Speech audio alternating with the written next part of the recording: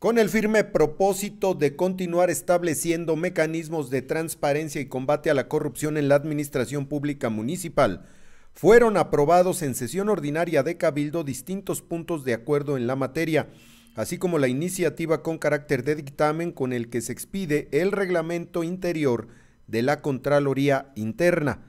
De esta manera, el cuerpo colegiado avaló por unanimidad el punto de acuerdo por el que se autoriza la Contraloría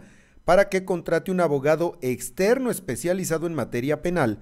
a fin que tramite las denuncias que se encuentran pendientes en dicha dependencia contra funcionarios o exfuncionarios públicos de la administración municipal, en el entendido de que dicho contrato sea en base a resultados, es decir, en base a la recuperación lograda. Ándele pues,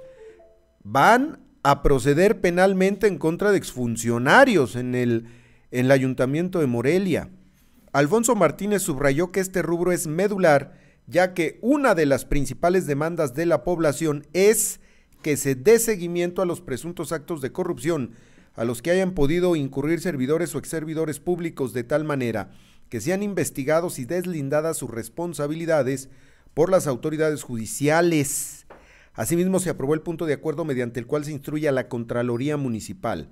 para que, mediante la Dirección de Responsabilidades a través de la Jefatura de Quejas y Denuncias, se habilite un número telefónico para la recepción de denuncias y quejas por actos de corrupción,